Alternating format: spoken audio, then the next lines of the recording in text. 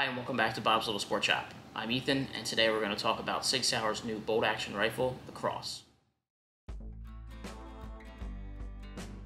So this is the Sig Sauer Cross. It's a bolt action, lightweight precision rifle. They make this gun in three calibers, 308, 6.5 Creedmoor, and 277 Fury. And they also make it in black and also a digital camo. This rifle that we have here is the 308 version uh, in all black. A couple things that are really nice about this gun. Number one is it's very lightweight. It comes in at about six and a half pounds. It has a 16 inch stainless steel barrel with a 1 in 10 twist. And we'll just start from the back and work our way up on features. The first thing it has is the chassis system. It has the, the stock that is adjustable for both length of pull and you can also adjust the cheek height for mounting different size scopes on it. It's skeletonized, which cuts a lot of the weight of the gun out. It has an ambidextrous AR-15 style safety, which has your safe position and your fire position on both sides. The grip is an AR style pistol grip, which comes from the factory of Sig Sauer's pistol grip. It will accept any aftermarket AR-15 grip. Moving up, it's a right-handed gun, so the bolt's on the side. And then your mag well.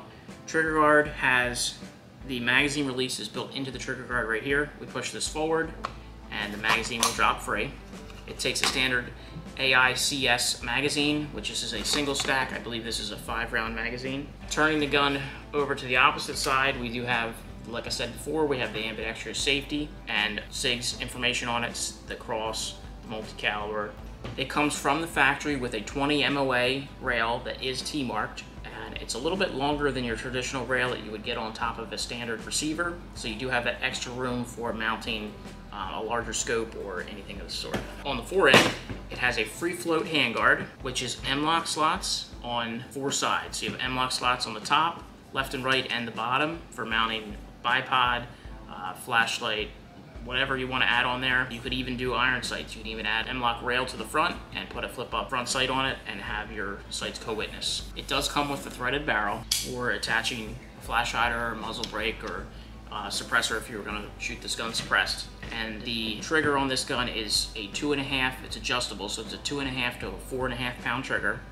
And the other nice thing about it is the stock does fold. So you push the button in on the side here, stock folds and locks in place and it doesn't drop free.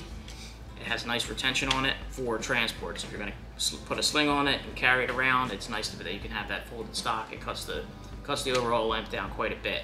When you're ready to open it back up, push the button back in and flip it back around and it locks right in place. As far as the bolt goes, it does have a three lug bolt.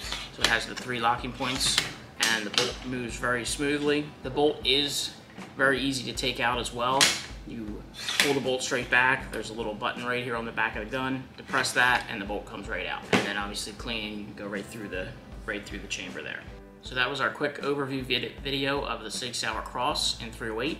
Be sure to uh, check back with us because we will be adding a scope to this gun and doing some other things to it that we'll document as well. Please remember to like our videos, comment on our videos, share our videos with your friends, and subscribe to our YouTube channel.